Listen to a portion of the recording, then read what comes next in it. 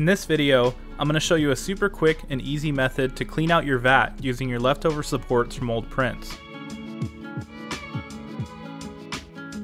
While this method works great for getting you quickly printing again, it's still not going to be as thorough as completely pulling your vat and cleaning it by hand, but it does work really well for cleaning up debris left from small print failures. You're going to start by placing the support in one of the corners of your vat, kind of in between the edge and the middle.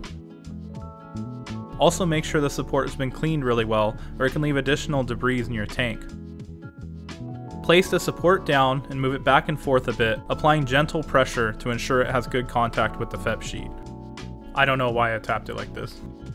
Then you're going to go into your vat or tank cleaning feature and set the exposure time. You want to run it for around 50 seconds to a minute to get a strong layer. If your machine only does lower increments, just run the test a few times. I'm going to go with 50 seconds on the M5S. Side note, but this resin has been sitting in my vat for around a week, and because it was unmixed and had several different colors in it, it made this really cool, almost hypnotizing pattern that emerged from the exposure burn. When the exposure is done, you want to gently grab the support and slowly pull while tilting towards the center of the tank to release the corner.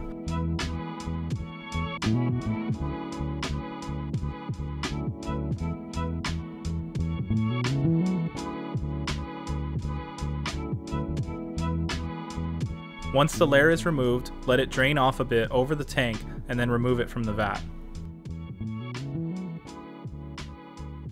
As you can see here and here, the tank clean did its job and removed the debris from the failed print. I'm going to let this cure outside for a few days and see if I can salvage any of it to use for other projects.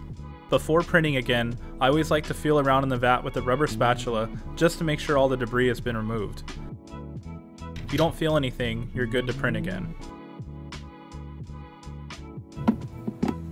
If this video helped you in any way, please consider subscribing, and if you have any questions regarding the process, please feel free to comment below.